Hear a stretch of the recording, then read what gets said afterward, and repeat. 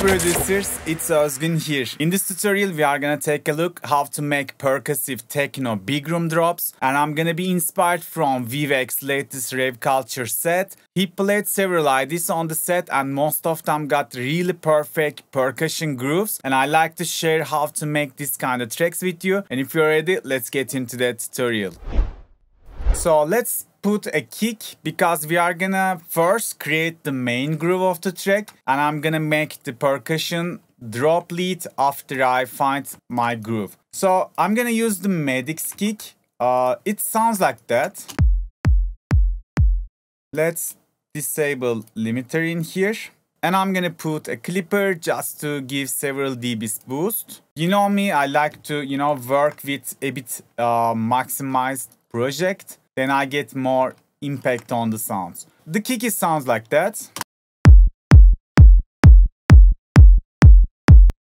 I choose the kick because the transient was kinda small, not overtaking, and and this is what I heard in the Wiwek's Rave Culture set. So let's copy the drums like that, and now we can work on the bass line. So for the bass line, like two weeks ago, I think I already posted how to make rolling bass lines.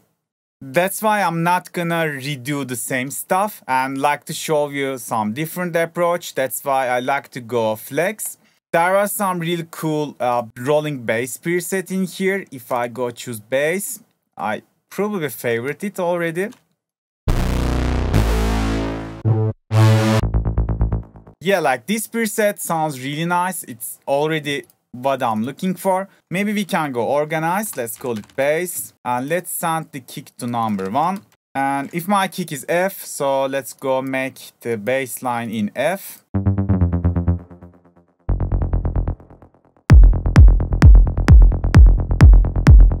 The good thing I like with this uh, flex preset, it has a cool groove inside of it. And it's kind of not hitting at the same time all the time. It's sometimes sweeping left and right just a little bit and it's giving me a really nice groove. So let's get a sidechain by holding Alt. I can just lock to grids. It's not necessary in the ending, but it's good to, you know, lock it to the very half. And then my kick is ending in half. So I can make a curve like that. And the recently I learned if you put some smooth, maybe 5%, it's become more smooth. So I'm gonna use it.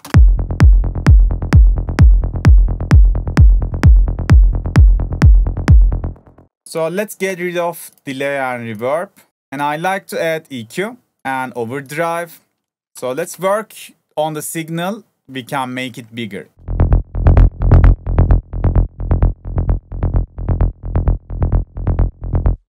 I like to boost the various sub frequencies.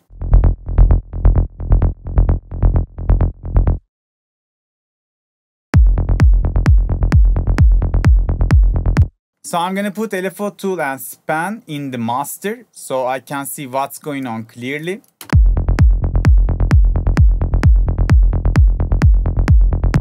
And that's pretty much it for the kick and bass for now. Depends on the situation, we can give a little bit more bass boost, but we will see about it when we have rest of the sounds. So let's loop the section.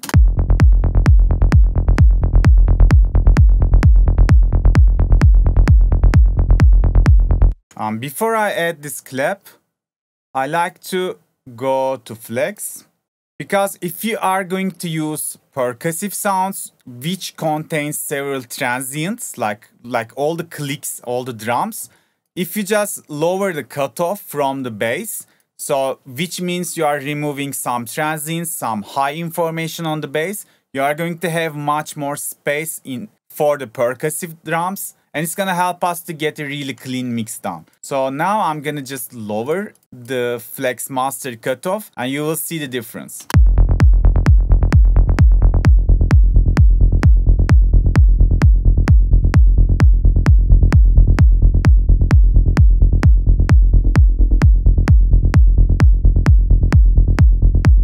So if you span, now we have more space for the mid frequencies, the upper mids, the high frequencies. Now the bass is not taking over that space.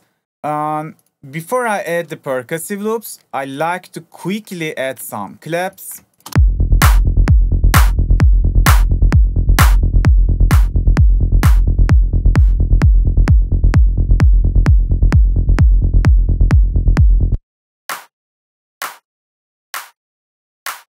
I'm taking away some of the low frequencies. I'm not gonna overprocess it. It's just enough for now. And now I like to drag drop this hi-hat. It's again from Maddix pack. He got really cool sounds. If you don't check the pack, I suggest you to do it. So I'm gonna put some hats like that.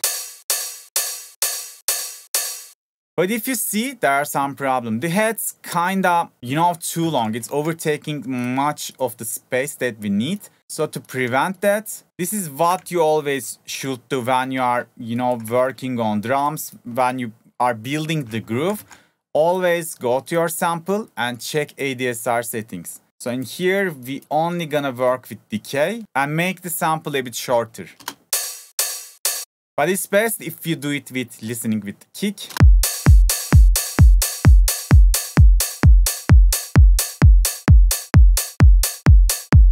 Okay, now we have this loop.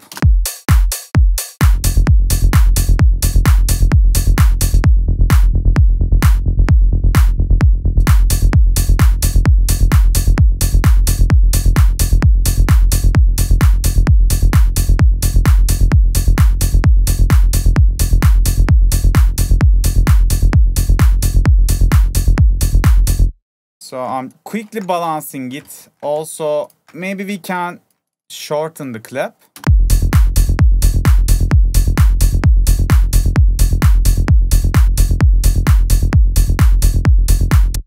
And I like to put some ending variation. Let's make it longer.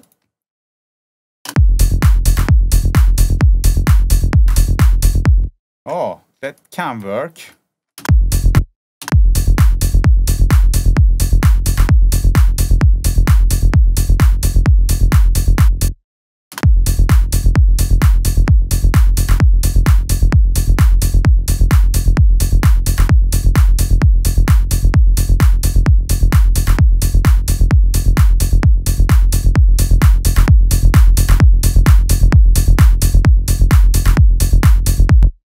I'm giving a little bit more gain since I have headroom. And yeah, now we can work on the percussive main sound. So let's add perk lead channel here. So to be fast, I like to use the sound that I find in the same Maddix spec. The percussion sounds like that. So the main thing is your percussion should have a tonality and a note, a key. And then if you find like organic sounds like that, it's going to work better. Like you can get more close to Wiwek's style. So now we are going to pitch this one or we don't even need to pitch it you know we can just put it on stretch mode so when we are playing it on the another note the note is going to be accurate if you put it on resample the key is going to change it's not gonna work when you calculate it, it's gonna be different. So I'm gonna use stretch mode. Let's send it to here, call it lead. First thing I like to do is always making my signal bigger. And I like to sidechain the percussion so I can test it out while I'm listening my drop. Maybe before processing it, we can write the MIDI. So in the MIDI, if our key is F, and if the sample is on C, which means I can use the piano roll and it's gonna be accurate on the notes.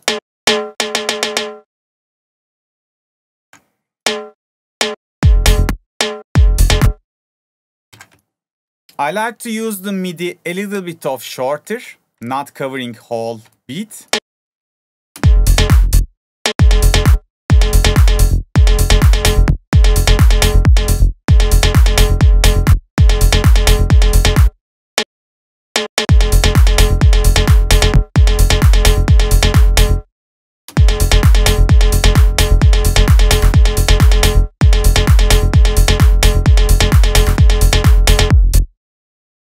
So for now, I like to mute the clap movement.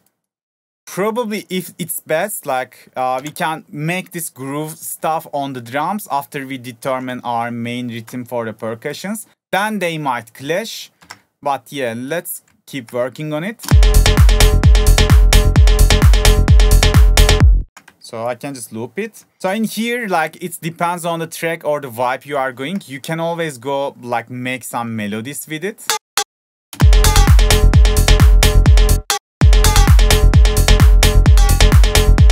Something like that. But now I like to focus on just a single note percussive loop.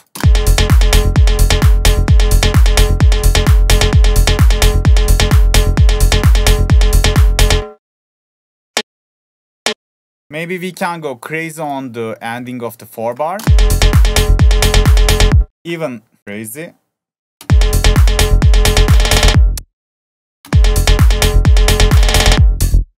Not bad.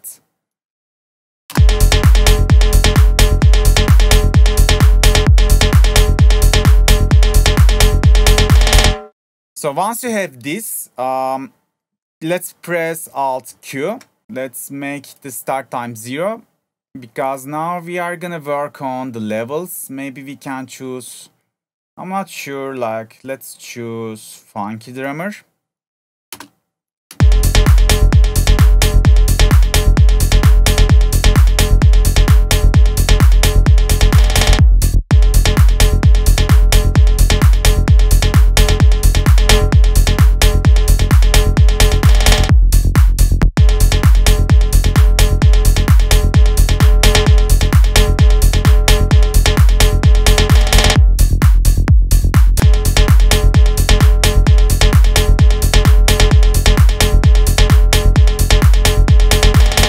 So the Techno 2 preset just seems to be working. I'm gonna accept it. Now I'm gonna go choose Note Pan. And in the like ending the fast movement, why not we why not we are doing something like that? Maybe we can just randomly pan everything. So you can always get creative and try to try to get some moments on the little details. Uh, because it's repetitive, but if you work on the details, it's not gonna sound boring. And yeah, now let's again choose Alt Q. But this time we are not gonna work on the levels. We are gonna work on grooves. I'm gonna choose swing preset in here. And you don't need to touch the velocity. Now we are gonna work on start time. And when you push the start time knob, it's gonna shift several notes a bit late and you are gonna get more humanized groove. So again, it's best if we decide it while we are listening the full context.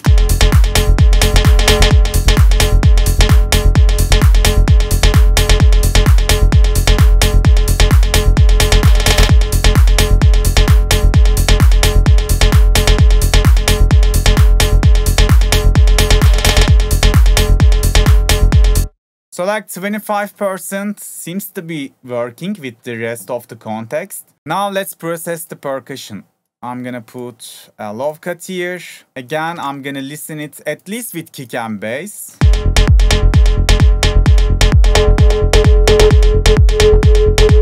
Let's dip it a little bit.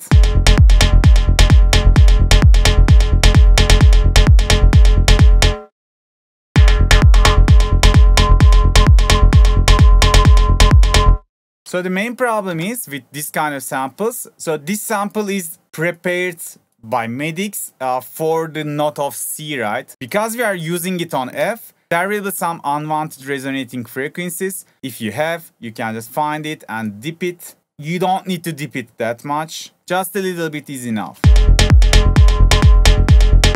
And maybe I can boost the low mids so we can get more body.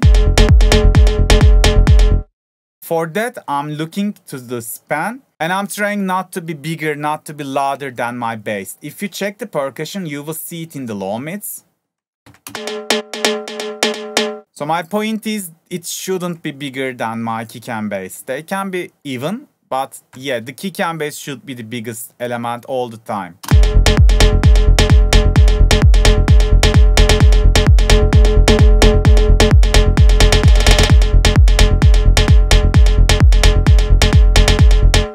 Okay, let's leave it like that. Also, we can put a transient processor because we have much more space for percussion loop. Uh, we cut the bass upper frequencies, so we have space. So why not boost the transient just 10 or 15% so we can get more presence percussion sound.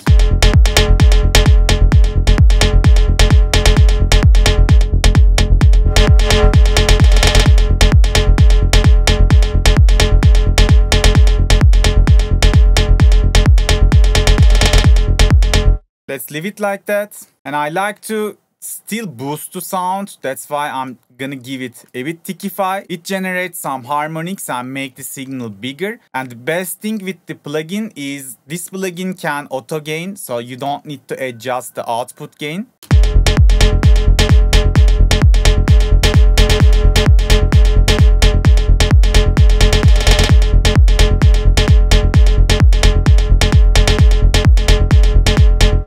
So it's adding a really subtle change, but it makes sense in the whole context. So I think it's time for some reverb.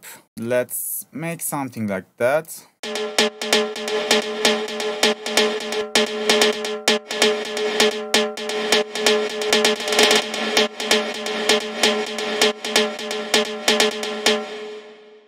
I'm giving some pre-delay so it doesn't get interfere with my percussion. And probably I will go like 5, 4 or 5 seconds of decay. And maybe we can give some stereo separation so the reverb, the wet uh, sound of the plugin can be a bit wider. So maybe we don't need any bass. Probably this should work.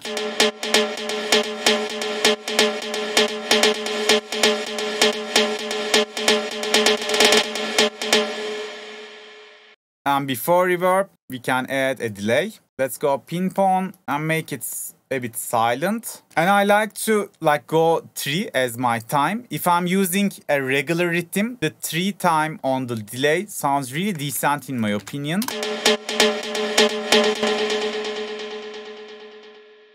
It's like kind of polyrhythmic and I love how it fills the gaps on the MIDI.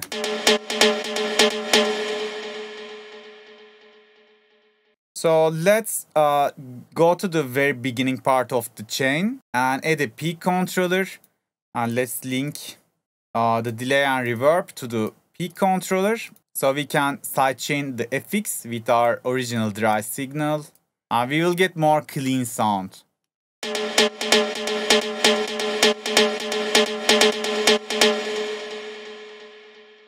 And let's put OTT. Let's make it like 15 or 20%. That is my sweet spot.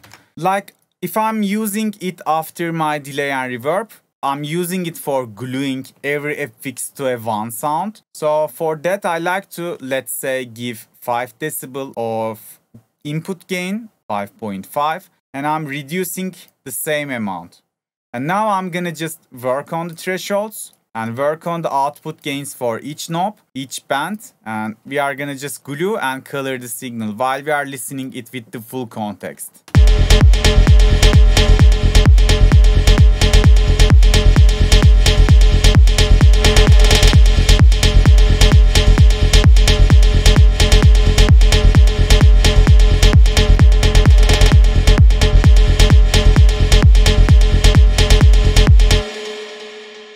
Sounds really decent. Um, probably the last thing I'm gonna add, uh, let's put it after OTT. Uh, this patch of mine, Endless Cry. So I'm just gonna create an automation for that. And when we are making this uh, crazy move in here, let's see, where is it? Yeah, in this section, maybe we can give a bit of washout FX. It can be more interesting.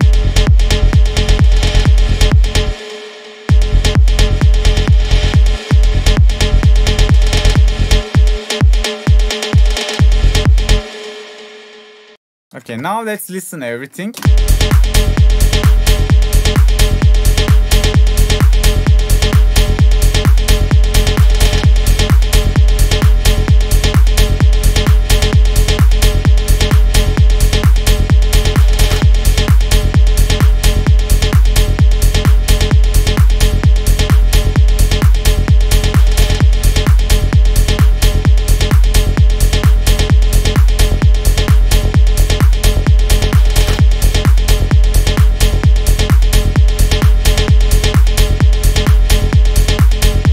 Really decent. Now I'm gonna use this KSHMR loop. And if I just put it really back off the mix, it can create a really cool like polyrhythmic feel.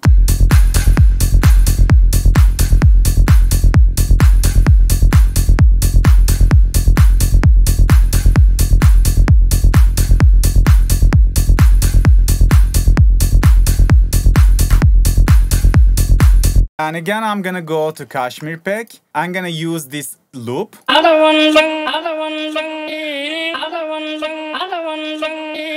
So because this is on the Phrygian mode, as my experience with these percussive loops, if you use the Phrygian scale, you are gonna get more close to the vibe that you are looking for. Let's uh, fit this sample to our track.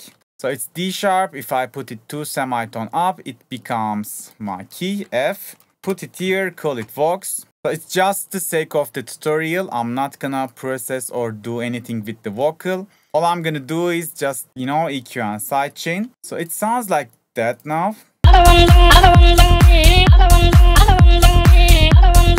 Probably we can put it to stretch. What about Stretch Pro?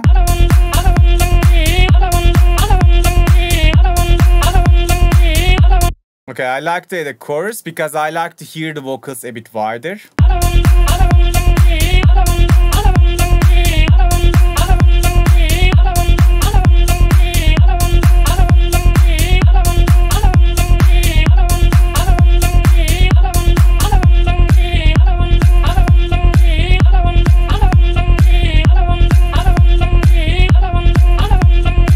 So this can be the theme, the main idea for the track, and this can be the drop. If I make this as a full track, I will use this structure.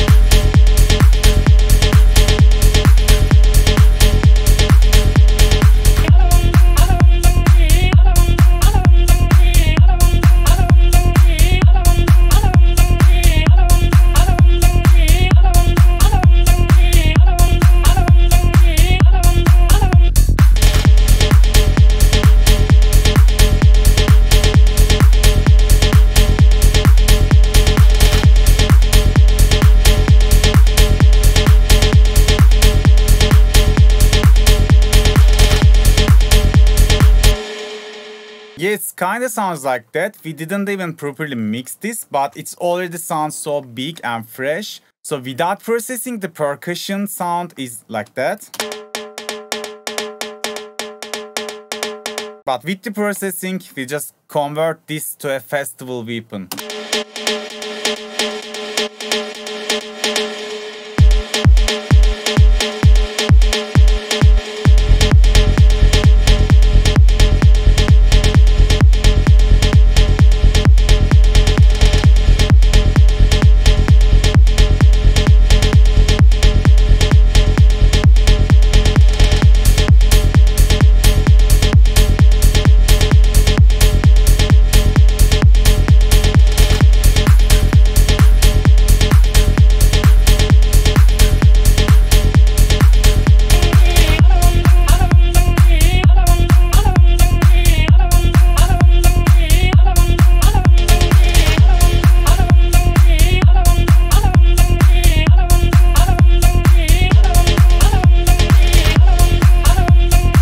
Yeah guys, this is how you get the percussive drop vibes like Wiwek tracks. I hope you can learn something from it and apply it to your own productions. Today that was it. Thanks for watching. See you on the next video. Bye bye.